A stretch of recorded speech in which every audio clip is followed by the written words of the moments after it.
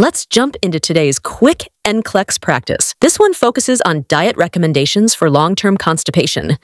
A nurse is educating a client who suffers from long-term constipation. Which meal option would most effectively support regular bowel movements?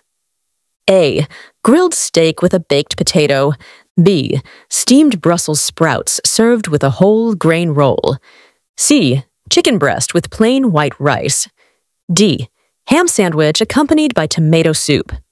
Correct answer B. Let's break it down. Why option B is the best fit.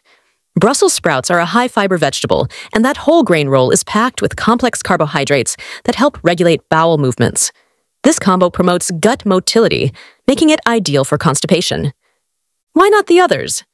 Steak and white rice are low in fiber. Tomato soup and ham? Not much roughage there either. NCLEX Nugget. For constipation, fiber is your best friend. Think leafy greens, whole grains, and lots of fluids. Want more daily practice just like this?